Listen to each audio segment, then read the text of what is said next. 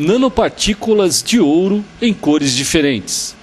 A pesquisa trabalha dessa forma, compondo novas partículas, ou melhor, diluindo, entendendo. Cada parte é uma parte. É assim que se pensa quando a palavra é nanotecnologia. Professor Elson Longo, explica um pouquinho de que forma é feita essa pesquisa e o que, que acontece com o ouro. O, todas as pessoas estão acostumadas a ver ouro da cor amarela.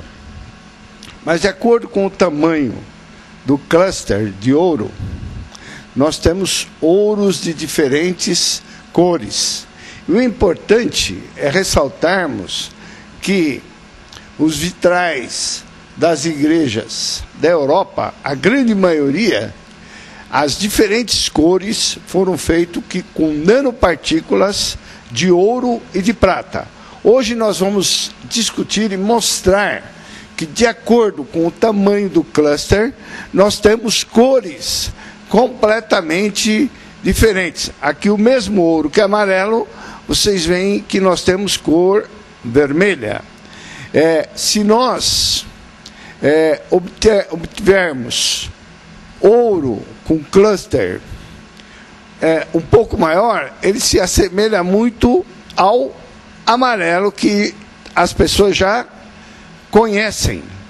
Então, de acordo com o tamanho do cluster, o tamanho da nanopartícula, vocês observam ouro de cores diferentes. Desta forma que os alquimistas fizeram e auxiliaram as pessoas que faziam vitrais.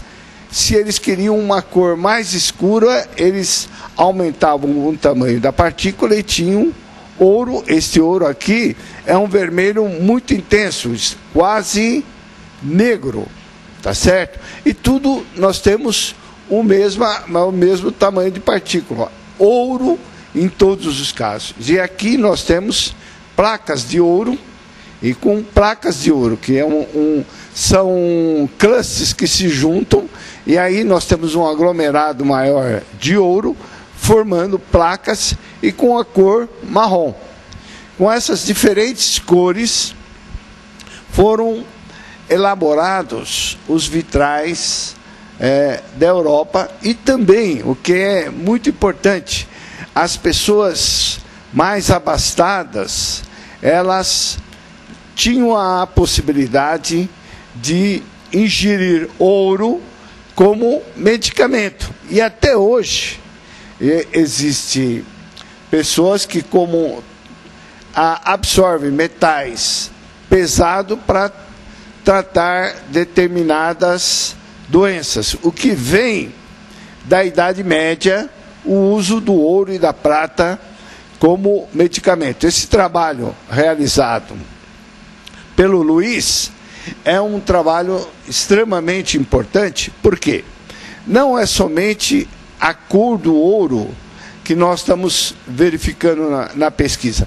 Nós estamos verificando na pesquisa como nós podemos manipular com soluções diferentes, utilizando materiais orgânicos, e esses materiais orgânicos controlam o tamanho da partícula.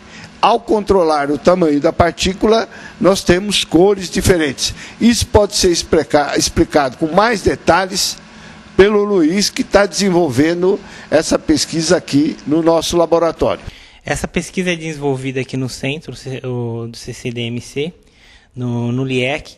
Que que eu, qual que é o objetivo dessa pesquisa? É produzir materiais que leva, que leva essas, esse, esse, esse ouro, a prata, incluído no material. Um exemplo.